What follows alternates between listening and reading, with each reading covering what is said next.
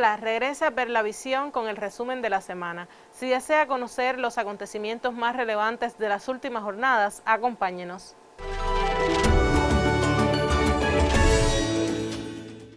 Esta semana es noticia que en el Central 14 de julio se realizan actividades para rehabilitar áreas importantes.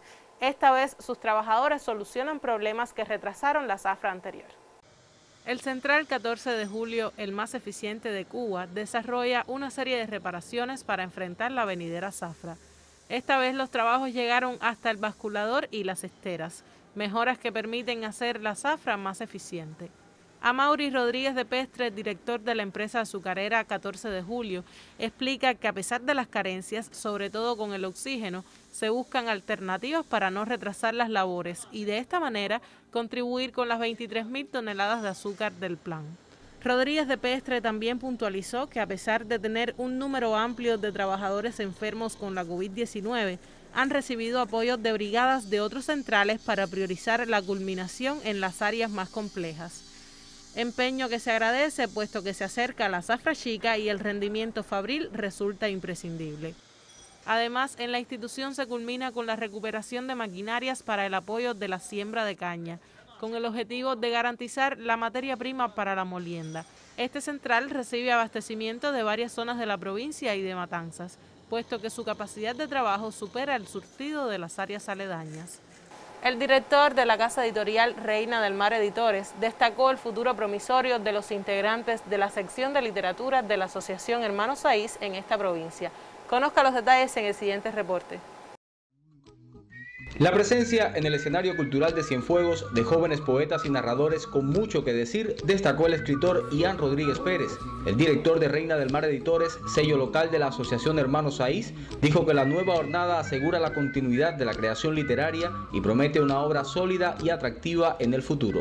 La sesión de literatura de la Asociación Hermanos Saiz eh, ha sido muy fortalecida, sobre todo un área que había estado rezagada eh, el área de la crítica e investigación, se han incorporado muchos profesores universitarios, eh, graduados tanto de filología como de ciencias sociales, lo cual ha enriquecido la visión que se puede ofrecer desde nuestro territorio sobre la literatura. Muestra de la poesía joven que se escribe hoy en la provincia constituyó la primera edición online de los Juegos Florales y en Fuegos 2021. Más de 40 autores cubanos y extranjeros compartieron sus obras en las redes sociales durante tres días de agosto pasado. De acuerdo con la valoración del jurado, que formaron poetas de Isla de la Juventud, Pinar del Río y Cienfuegos, el certamen demostró el arsenal de talento con que cuenta la Perla del Sur. Otra expresión de respeto al género y a sus clásicos se vio en el encuentro virtual La despedida del poeta, un homenaje al cubano José Ángel Buesa, al español Federico García Lorca y a la obra de ambos. Un grupo de escritores y actores eh, jóvenes aquí de Cienfuegos se han unido para filmar eh, ciertos videos, un poco interpretando poemas de autores de Cienfuegos, de Cuba, incluso eh, internacional también. Como resultado de la intensa actividad de esta nueva generación de escritores cienfuegueros, el sello editorial de la AHS propone para finales de 2021 la publicación de los volúmenes de cuentos La que debe morir, de María Carla Aguila Díaz y Premio Reina del Mar, de Héctor Leandro Barrios, Las Formas Invisibles, Premio Girasol Sediento, mientras en la categoría de ensayo y asimismo Premio Reina del Mar, Abejas en la Catedral, de Liostani Figuera estará también entre las novedades editoriales. En Cienfuegos comenzó la campaña de vacunación masiva en edades pediátricas. Este proceso marca pautas en el enfrentamiento a la COVID-19 en el país.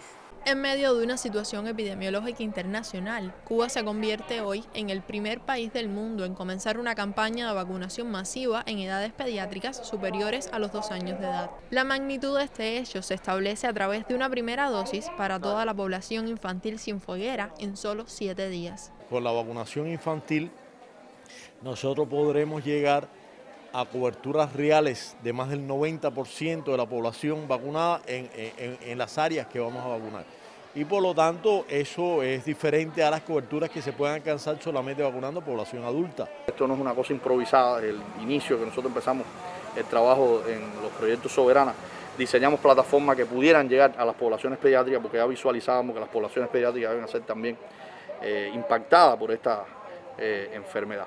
Entre llantos y sonrisas, decenas de niños obtuvieron la primera dosis. De esta experiencia sobresale el júbilo de aquellos que durante meses de trabajo diario llevaron hasta los más pequeños la seguridad en pequeñas dosis de soberana.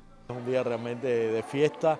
Eh, sentimos que, que, incubamos un sueño hace más de un año y que estamos, estamos viendo ese sueño realizado hoy y realmente por lo tanto es un día muy emocionante. El Círculo Infantil Amiguitos del Granma se establece como el primer escenario en el proceso de vacunación para edades pediátricas en Cienfuegos y en el país. Estoy contento por venir a la vacuna. Creo que es importante estar vacunado. A mí no me da miedo nada. Muy importante la vacuna que se le está poniendo a los niños porque es un motivo más de alargarle la vida, de evitar que eh, eh, desarrolle una enfermedad grave, de adquirir el virus.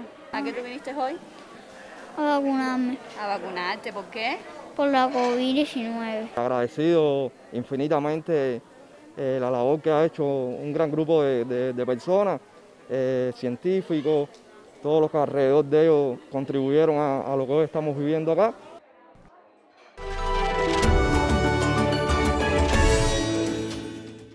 Una donación de equipos e insumos médicos recibió el Hospital Provincial Gustavo Aldereguía Lima.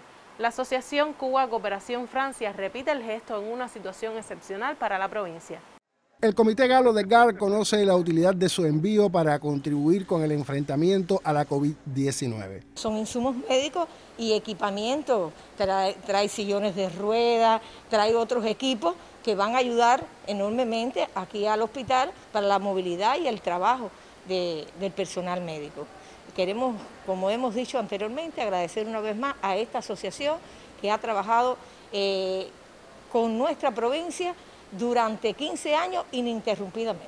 El donativo tiene un costo que supera los 11 mil euros. Será utilizado en las áreas del Hospital General Universitario Dr. Gustavo Aldereguía Lima, destinadas a la atención de pacientes contagiados con el SARS-CoV-2 recibirlo en estos duros tiempos que estamos viviendo, en estos momentos difíciles que estamos atravesando, sobre todo en nuestra institución, que ha incrementado el número de capacidades de hospitalización de 640 camas a más de 800 y tantas camas, pues bueno, se recibe yo creo que, de manera muy satisfactoria, se recibe además eh, con la posibilidad y con la realidad de sin duda, de sin duda poder eh, bueno, ponerlo en disposición en el menor tiempo posible de nuestro pueblo. Un tiempo mínimo se necesitará para el inventario y distribución del equipamiento e insumos médicos. Que se pondrán a la disposición de los pacientes que tienen COVID que son convalecientes de la COVID, pero además al resto de los pacientes de, del hospital que se siguen atendiendo en nuestro hospital, que como lo sabemos todos es el de la familia Cienfuegos.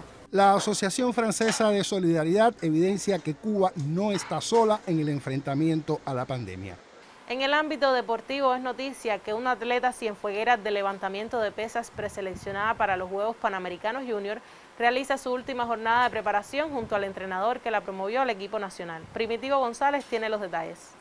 La joven cienfueguera Marifélix Arría Ruiz, con solo 17 años, está entre los cerca de 20 atletas del territorio preseleccionados a los primeros Juegos Panamericanos Junior a efectuarse del 25 de noviembre al 5 de diciembre próximo en Colombia. Durante el año en curso, Sarría Ruiz participó en los Panamericanos Sub-17 y Sub-21 efectuados en México y Colombia, respectivamente. En tierras aztecas se llevó un metal de bronce y en Colombia tres preseas, una de plata y dos de bronce. Superarme cada día más mis marcas y poder llegar, eh, poder llegar muy lejos en el deporte. Mari Félix, con condiciones excepcionales para la práctica de la alterofilia, está consciente de que le resta superar la dependencia del hogar para volar a empeños mayores. Pero las condiciones que ella tiene son, son excepcionales. Imagínate, con 17 años que acaba de cumplir en agosto, ya ha participado en dos eventos internacionales recientemente y en los dos, en los dos eventos internacionales que son panamericanos ha alcanzado medallas en ambos eventos. Es una atleta de mucho futuro para las pesas cubanas y, y esperamos que sí, que se vaya adaptando poco a poco. A, hemos trabajado con ella en eso, en, en, en, el cero pelado y sus resultados puedan ser superiores. Marifeli junto a Elizabeth Intensa son dos cienfuegueras de levantamiento de pesas preseleccionadas a la cita juvenil cafetera. Cualquiera de ellas puede llegar a la cita junior, pues son exponentes de una nueva jornada de practicantes de levantamiento de pesas en el territorio, con destaque para las féminas. De esta manera ponemos punto final al resumen de la semana, no sin antes invitarlos a seguirnos en nuestras redes sociales.